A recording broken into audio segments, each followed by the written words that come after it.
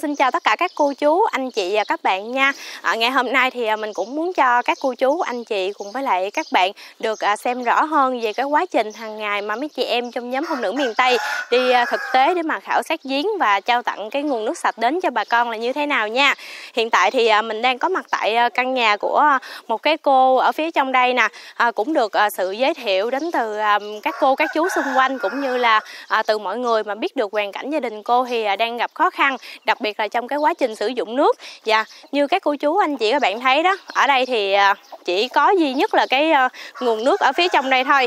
Cái này thì giống như là một cái à, kênh, một cái hồ nhỏ gì đó, nhưng mà nước thì khá là ô nhiễm nè, cộng thêm nữa là gác rất là nhiều. Nhưng mà nghe nói là hàng ngày là gia đình xài là phải xài cái nguồn nước dưới đây. Dạ thậm chí là bên à, phía cây cầu này nè mình nhìn qua thì thấy là có à, có lưu nước rồi có xà bông rửa chén rồi đó. Cho nên là hàng ngày là mấy cô mấy chú ở đây á, trong mấy căn nhà này là đều sử dụng cái nguồn nước ở dưới cái hồ này hết. Dạ và nói là nước nôi không có nhiều. Hàng ngày khi mà mấy chị em ờ, đi khảo sát á thì ờ, cũng cho các cô chú anh chị các bạn biết luôn là không phải lúc nào mình đi cũng ờ, đúng thời điểm mà mọi người đang sắp nước hết. À, trong đó thì mấy chị em cũng có đến và có giống như chị ba nè đang nói với cô là à, cầm cái thùng mình đi xuống dưới sông hoặc là đi xuống dưới ao kênh gạch. À, mình xách giống như thường ngày làm như thế nào. Tại vì đôi lúc mình vô thì cũng không có đúng bây giờ người ta xách nước á.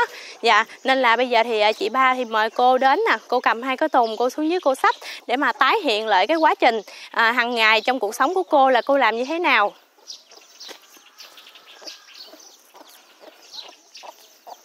Dạ. Đây à, khi mà chị ba nói với cô là cô cứ xách nước giống như thường ngày đó cô làm là như thế nào thì cô cũng à, sẽ làm theo như vậy à, để mà cho các cô chú anh chị các bạn được thấy rõ hơn. Dạ.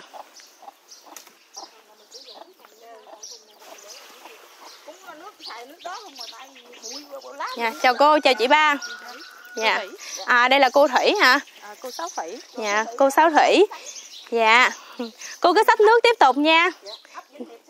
Dạ, đôi lúc á mấy chị em vào thì à, đúng với cái thời điểm mà mấy cô mấy chú đi sách nước thì cũng có thể cho các cô chú anh chị các bạn xem được. Nhưng đôi lúc mình vào thì à, không đúng cái thời điểm đó. Cho nên là mình à, nói với mấy cô á là à, đi xuống sách nước lên để mà cho cô chú anh chị các bạn thấy được rõ và thấy được thực tế cái quá trình mà mấy cô mấy chú ở đây sử dụng nước như thế nào cũng như là sách nước lên như thế nào. À, sau khi cô sách xong rồi thì sẽ vào nhà để mà mình trò chuyện một chút.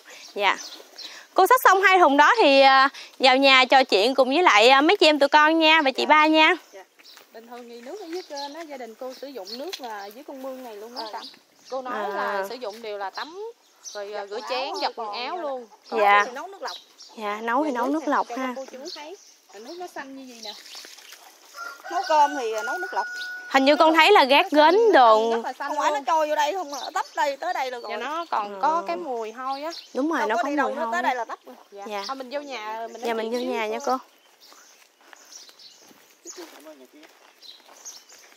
Dạ, bây giờ thì à, chị ba với lại à, cô vào nhà đợi con à, một chút xíu nha. À, sau đó thì con đi qua bên kia một chút xíu rồi con sẽ quay trở lại.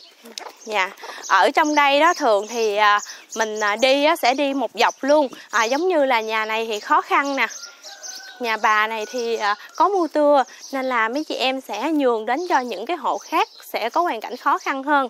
Dạ, giống như cái căn nhà bên đây của chú đang sống nè đôi lúc ở trong một cái à, con đường thì sẽ có rất là nhiều nhà nhưng mà mấy chị em luôn chọn lọc những cái căn nhà à, mà thấy phù hợp và những cái căn nhà khó khăn nghèo và đang cần nước sạch để mà xài. À, nhà của cô à, Sáu Thủy lúc nãy thì à, rất là được để mà mấy chị em khảo sát. Còn như nhà của bà bên đây á, thì nhà to cộng với lại là nhà bà thì cũng có mua tưa để mà hút nước dưới sông lên. Cho nên là mình sẽ nhường cái phần đó lại cho những người cần hơn. Và giống như nhà của chú. Chú tên gì thứ mấy nhà, chú? nhà tôi tôi tôi ba dọn thứ dạ. ba chú ba dọn thứ ba hả? À. chú ba đang rửa chén hả?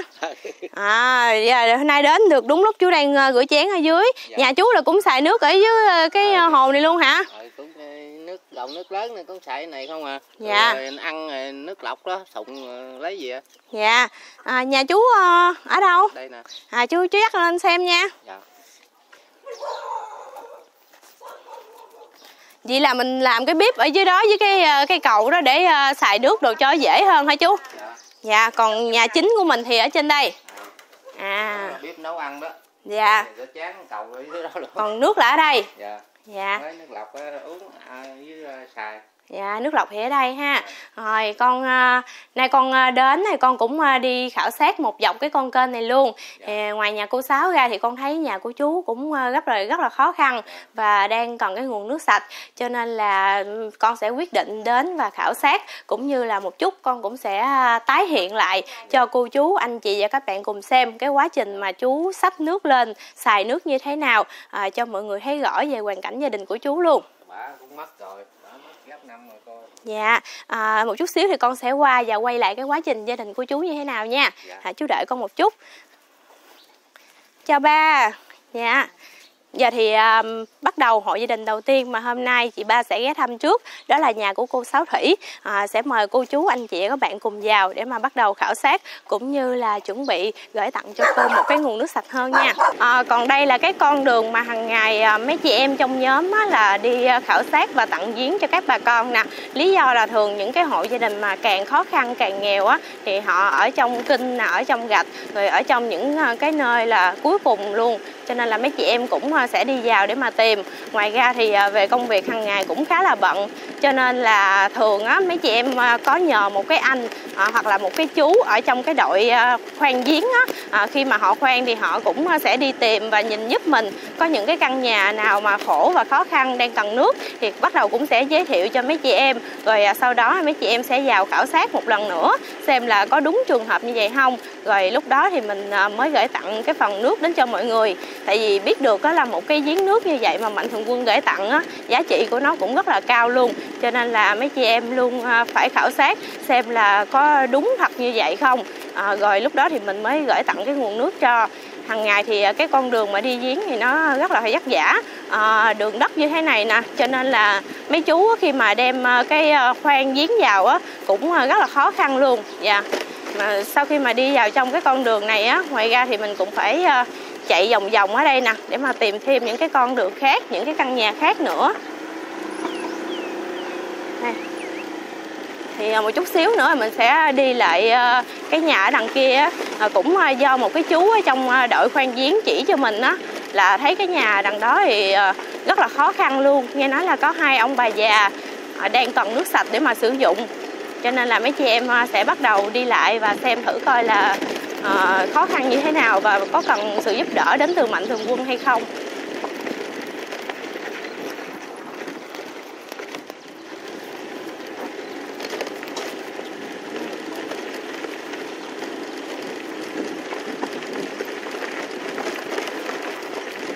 Đây mình đi ờ, tới được cái ờ, cái nhà đó nè. Đây là cái chú trong đội khoan giếng là đang chỉ cho mình rồi sẽ ghé lại và bắt đầu à, khảo sát xem là cái căn nhà này à, à, có đáng để được sự giúp đỡ từ mạnh thường quân không nha. Ờ, các hộ gia đình của cô trong kia kỳ Cẩm thì đã đi vô trong nhà hỏi hoàn cảnh của cô rồi. Thì con ở đây á, thì xem xung quanh thì thấy nước ở dưới này á đây trong đây là một cái vùng mà nằm giữa đồng trời. Thì gia đình các hộ ở đây đều sử dụng nước dưới của con kênh này hết mà nước ở dưới á, thì người ta có nuôi vịt có đàn dớn mà lục bình rác thì rất là nhiều luôn. Nước thì rất là đục. Xung quanh là ruộng không à. Thì ờ, bà con trồng ruộng xong rồi xả nước ờ, xuống con kênh này, thuốc sâu, phân bón, hoặc là rác, hay là nuôi vịt, rồi phân vịt ở dưới này cũng có luôn. Thì trong đây không có ai mà có nước sạch hết để mà sử dụng. Bà con chị đã rất ờ, bà con thì cố gắng sử dụng nước ở dưới này.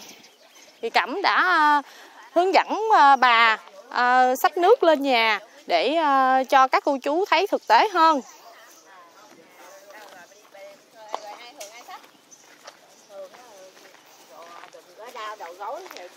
À, con chào bà. Thì ờ, cô chú thấy cảnh đang hướng dẫn bà để xách nước ở dưới ờ, con mương này lên để cho cô bác sử dụng cho cô bác xem bà nói á là là hồi nay em đến khảo sát á thì ố. Ồ cô. Chào cô. Rồi bà nhớ con không? Dạ. nhớ con không? bà bị lãng tai không? Nghe không? Bà nghe không bà xách nước nổi không bà? Hả? Bà xách nước nổi không? Vậy bà này là được tặng giếng rồi á. À. Sách ra thùng nhà bà gần đây không? Ở tuốt trong đồng nãy giữa đường mình chạy ra. Giếng mình à, sử dụng tốt không bà, bà? Không nghe đâu. Vậy hả? Không có bà lãng nghe tay gì ha. Bà bà xách nước nổi không? Bà xách nước nổi không? Xách thùng này nè. À hùng này ha. Xách thùng nhỏ. xách hùng này. Đâu bà thường ngày bà xách sao? Xách lại cho con coi coi. Bà đi bà đi, đi đi được không bà? Thường ngày cũng đi vậy luôn hay gì? Đi vậy nhẹ hả? Được không? Đi con xuống con ấy cho. Được rồi để à, bà làm là bà làm cho mình coi á. À. Dưới đây á cẩm chị thấy ờ, cái bên là ta nuôi vịt quá trời luôn á cẩm. Đúng rồi ta nuôi vịt nhiều ít thì chắc nuôi nhiều dạ. Ở bên đây hai chuồng vịt luôn. Hai chuồng vịt hai bên. Hai bên Ủa, bà chính giữa ai nuôi hả bà? À con bà nuôi hả? À. nuôi con bà đẳng bà nuôi sát bên bà con bà nuôi sát bên rồi bà sử dụng nước ở dưới này luôn À, hồi lúc nãy thì à, trong lúc ờ, con đang à, phỏng vấn ông bà ba thì có gặp bà ở đây mới vừa đi ngang. À, mấy chị em cũng à, mới vừa chở bà từ ngoài đầu đường vô đây tại vì nhà bà rất là xa mà bà đi lưu bộ. Hình như là bà đi làm mới về đó các cô chú anh chị các bạn ơi. Thì cũng chia sẻ cho mọi người biết luôn hôm trước khi mà con cùng với lại út nhàn vào để mà à, kết thúc cái giếng nước của bà đó thì à, lúc đó là cái cái phần máy bơm á, nó bị hụt nước. À, nghe bên đội thợ của chú Hùng nói là do là nó còn dính cái lớp keo cho nên là nó bị hụt nước. Thì lúc đó mấy chị em cũng à, có à, chia sẻ cho mọi người biết và sẽ nói là sẽ liên hệ thợ để mà vào sửa cho chú. À, với lại à, sửa cho ông bà. Thì hôm nay là bà có nói là nước đã được à, bơm lên và rất là mạnh luôn rồi. Thì à, về phía chú Hùng cũng đã sửa xong. Bây giờ thì cho cô chú anh chị các bạn cùng xem nha. Dạ bơm nước nha bà. Bơm nước nha. Rồi để con đi vô đây cái. Đi đây nè đấy này ở đây là cái à, máy là ông bà đậy rất là kỹ luôn. Tại vì thường khi mà à, mấy chị em tụi con à, quay lên cho mọi người thấy thì à, à, cũng sẽ ờ, rất là suôn sẻ luôn từ ờ, nước nè rồi tới máy và mọi thứ. Nhưng mà trong lúc đó thì đôi lúc nó cũng sẽ có một chút sơ sức hoặc là trục chặt là về máy thì hoàn toàn là mới bây giờ hoàn toàn bình thường. Nhưng mà đôi lúc thì nó sẽ bị dính keo hoặc là nó bị hụt nước. Nên là cái đó thì mình cứ liên hệ thợ họ sẽ đến và sửa miễn phí cho mình luôn. Và à, nhà nào mà bị hư hay là bị gì đó thì đều nói để mà mấy chị em liên hệ thợ để mà sửa lại hết. Cho nên là về phần đó thì cô chú anh chị các bạn cứ yên tâm nha. Dạ. À, sau một hồi mà anh Kagamen chỉ thì à, bây giờ con cũng à, biết cách làm bây giờ sẽ bắt đầu giật thử xem rồi nó làm sao nha. Ôi.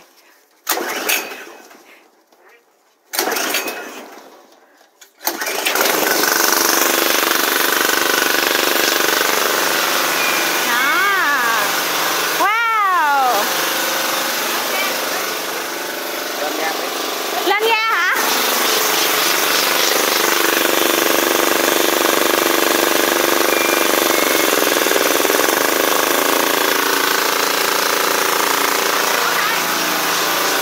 Được chưa?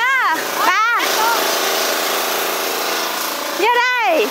Đây. Tại vì á đôi lúc á là sẽ ờ, có những cái giếng á nó cũng bị trục chặt nhưng mà khi mà mấy chị em à, tới thì à, mọi người có à, nói thì lúc đó là sẽ sửa hoàn toàn luôn và sẽ lại kiểm tra xem là nước nó có như thế này không. Tại vì khi mà mình trao xong rồi thì mấy chị em cũng sẽ đều quay lại và kiểm tra xem là nước như thế nào. Tưới cây luôn hả? Rồi tưới luôn. Nè à vậy. Dạ. bà rất thích tưới cây. Đây, ở đây là cái chỗ mấy chú thợ đã khoan giếng rồi nè đây à, à, ông cũng rất là kỹ ông bao trùm lại như vậy nè để à, cho nó sử dụng được lâu hơn. Cho miếng nước nha chị? Rồi. Dạ à, đây là cái à, đường ống nè tại vì nhà của ông bà thì à, cái à, chủ yếu là cái sàn nước là ở phía sau cho nên là nối ống ra phía sau đây xài. Ở phía trước thì tưới cây còn phía sau là xài rửa chén giặt đồ nấu cơm nè là bơm vô đây. Ở đây có một cái ống nè à, khi nào mà tưới cây thì ông bà nói vô còn không tưới thì ờ, rút ra. Rồi mình bơm vô đây xài. Giờ thì ờ, mấy cái phi nước này là đều rất là trong và sạch luôn. Đó. Rất là thích luôn ai cũng vui hết. À, đây hai phi và một lu. Giờ thì ông bà cũng không có cần phải lo nữa rồi. Tại vì à, mùa này á thì à, cho cô chú anh chị các bạn xem nha cái mùa này á, là nghe ông bà chia sẻ là cái mùa mà không có nước nhất luôn. Cho nên là bà nói á, mỗi lần bà đi tắm với lại ông thì hai ông bà sẽ chạy xe đạp ra tút ở ngoài con sông ngoài kia. Lúc nãy cái chỗ lúc nãy mà mình mới vừa chạy ra đó để mà tắm. Rồi khi nào tắm xong á thì à, đi vào tới đây là bộ đồ là nó khô luôn rồi thì mới vào được tới trong nhà. Tại vì do là ở đây không có nước. Nhưng mà mấy chục năm nay thì ông bà đều sống như vậy hết. Kể cả là nước uống thì cũng sử dụng nước dưới đây mà uống luôn.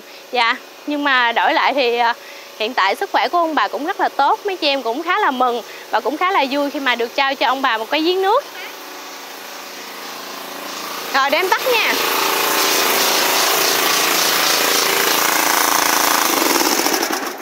Yeah, em biết tắt rồi Kìa, ông về kìa chị Chào Ồ, ông đi bẻ cái gì? Cái gì? Bầu. Ông nhớ con không? Đi vô ông ơi. Xe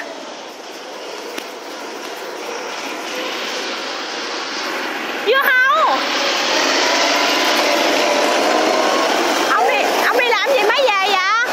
mướn ra chứ làm gì Bằng mướn hả? Sao có mấy trái dưa hấu nữa nè cấp À ui Dì nói nhỏ thôi đừng nói lớn nữa đem gì hết Thôi giờ được rồi? Nay nay mấy chị em tụi con đi à, cho khảo sát giếng những cái giếng gần ông bà đó Thì à, sẵn thì ghé hỏi thăm ông bà là cái à, giếng à, mấy chú thợ sửa xong chưa xong rồi Sửa xong rồi giờ im chưa ông em mình nó hơi xì ở trong cái ấy đó À. cái ấy đó quấn ấy đó Dạ vậy là qua lấy cái à, cọng à, dây à, cái dây mà bánh vỏ bánh xe á, cái Ừ. quấn lại cho nó đừng có bị chảy nước ra nha. Ừ. Dạ rồi nếu mà có bị hư hay bị gì thì ông bà cứ liên hệ cho tụi con rồi à, sẽ sửa cho ông bà. Tại vì à, tụi con à, ngoài thay mặt mạnh thường quân tặng ra thì à, tặng những cái gì mà tốt nhất hoặc là xài im, xài được lâu dài thì tụi con mới tặng. Chứ mà xài một thời gian mà hư thì chắc chắn là tụi con sẽ à, thấy có lỗi lắm. Cho nên là à, nếu mà có bị trục chặt hay là như thế nào thì cứ liên hệ rồi tụi con sửa cho nha. Không chỉ là ông bà mà cho tất cả mọi người luôn. Dạ à, giờ thì à, mấy chị em tụi con cũng à, xin phép chuẩn bị đi về Cảm dạ ơn rồi chúc ông bà với nhiều sức khỏe. mùa này là giờ có nước rồi ha khỏi phải lội ra Trời tới ngoài kia ha. ủa ông con nghe bà nói là là là tắm xong rồi đi vô là khô bộ đồ luôn hả? Vậy chứ sao đâu phải gì quá trời xa luôn. Dạ. Mấy cái giếng này có giúp được không? Dạ có rồi đi nãy giờ đi vòng vòng rồi đó. Nhà của ông ba vừa ngoài kia đó. nhà này nè. Rồi. rồi luôn rồi nhà của cô sáu gì đó phải cái nhà không? anh xong được không? Nhà bên sông là bên nào đâu? Cái nhà trường đó vậy hả nó cất đó cất rồi xong hết trơn rồi đó À, vậy chừng nữa đi rồi ông chỉ con con qua đó con coi Ờ, nha. cái đó là bà ở có mình nên bà hả À, bà ở mình nên. có mình nên nè Dạ. thấy cũng trội quá cô ơi Dạ rồi, để con đi qua đó con khảo Ừ, sát. khảo sát ờ, coi ấy giùm nha Dạ rồi, để đi qua đó coi. dạ, tại vì à, ngoài à, những cái à, họ chú Hùng chỉ nè hay là những à, mấy chú xung quanh chỉ thì đôi lúc ông bà nè à, cũng chỉ những người bạn hay là ông bà đi đâu á thấy gặp mấy người nào khó khăn đó thì chỉ. Nhờ đó thì mấy chị em mới biết được nhiều người như vậy. bà bảy bà mướn người ta Rồi bà Bảy luôn, bà Bảy là bà nào luôn. Ừ, ngoài này nè. Đó. Rồi vậy là nhớ giúp giùm nhỏ cháu dùng ngoại ra Rồi, để con đi ra ngoài con coi. Ừ. Ha, đi ra ngoài con coi rồi khảo ngang sát. ngang kho. Ngang cái kho lúa luôn phải ừ không ngang kho lúa. Rồi. Ngang kho lúa luôn. Rồi bà đợi em về ăn cơm kìa. Thì cái nhà bên đấy đó cái nhà mà Nhà mới cắt, nhà trường ờ, đó, đó nhà mới cắt đó. Ừ. Rồi hôm trước con đến là chưa cắt xong